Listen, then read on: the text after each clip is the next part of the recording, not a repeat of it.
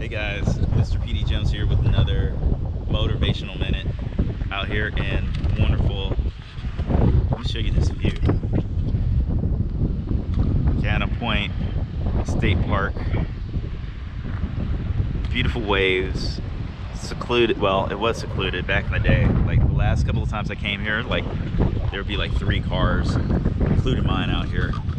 But it's grown in popularity and it's all good. Anyways, um, I want to take a minute to talk about failure.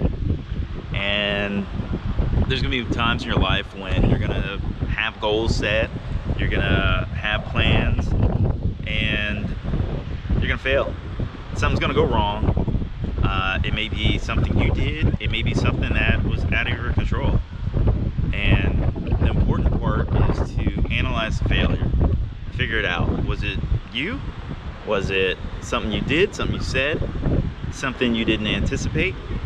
Or was it something that was out of your control? You know, was it the weather? Was it some sort of rule or law that you were unaware of? Um, it could have been not being selected for a promotion or some sort of uh, billet or something like that, where you know there's a selection board and maybe you just weren't the top pick. Now, in some cases, the failure is not so much on you, but it could just be a situation that you know maybe you weren't the best person. Maybe you didn't get that job because there was somebody more uh, qualified for you. Maybe they were related to the hiring manager, or they were in the same fraternity or sorority as the hiring manager, or something crazy like that. Either way, when you get discouraged like that, when you have those failures, when you have those moments, give up.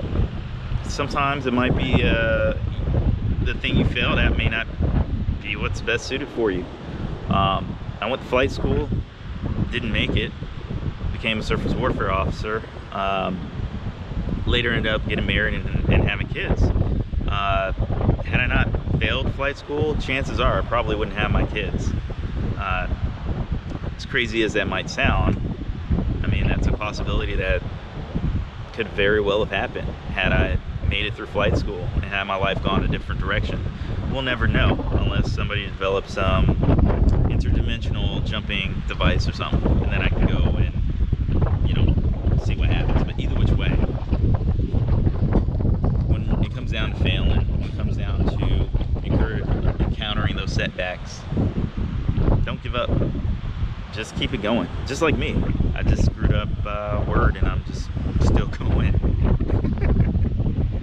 but anyways, that's it guys. Uh, sun's getting ready to set. I'm gonna go probably try to scout out another place to take a photo. And that's it. I'll you guys with another quick 360.